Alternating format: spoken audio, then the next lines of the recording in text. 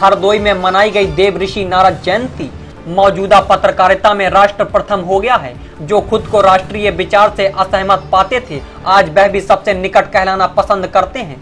हमें पत्रकारिता में राष्ट्र चिंतन और समाज हित को प्रमुखता देनी चाहिए।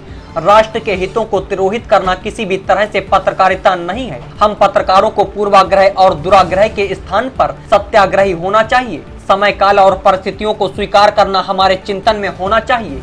ये बातें उत्तर प्रदेश राज्य सूचना आयुक्त सुभाष चंद्र सिंह ने कही। वे हरदोई के श्रीश चंद्र अग्रवाल स्मृति सभागार में रविवार को आयोजित नारद जयंती समारोह में बतौर मुख्य वक्ता जनपद के रूप में पत्रकारों को संबोधित कर रहे थे। उन्होंने कहा कि हमें खबरें समाज से निकालनी पड़ेंगी, राजनीति से नहीं। राजनीतिक और आपराधिक खबरें लिखना ही पत्रकारिता है। ये बात पूरी तरह सच नहीं है। समाज में बहुत कुछ सकारात्मक प्रयास हो रहा है। हमें उन खबरों को भी उठाना चाहिए। उन्होंने कहा कि राष्ट्रीय मूल्य और राष्ट्र चेतना ही आज की पत्रकारिता का उद्देश्य होना चाहिए।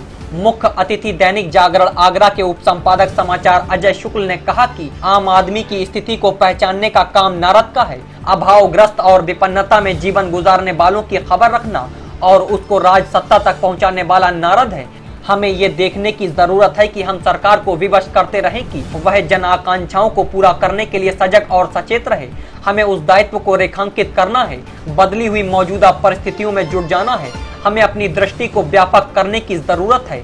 उन्होंने नर और नारायण के बीच में सूचनाओं और समस्याओं का आदान प्रदान करने वाली नारद की भूमिका को स्पष्ट किया। अतिथियों का स्वागत नगर पालिका परिषद के चेयरमैन सुख सागर मिश्र मधुर ने किया। कार्यक्रम की अध्यक्षता वरिष्ठ पत्रकार श्री मदन मोहन पांडे ने।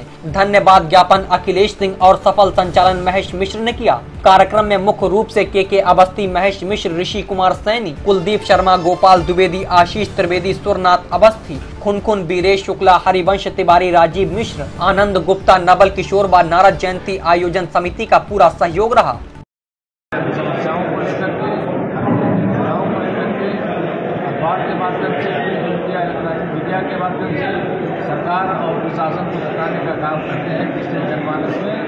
वो चौका स्तंभ के रूप में जो कहे जाते हैं, मैं उनको भी बहुत बहुत आज से और उनकी मार्ग पर चलकर अगर नए संचालित है,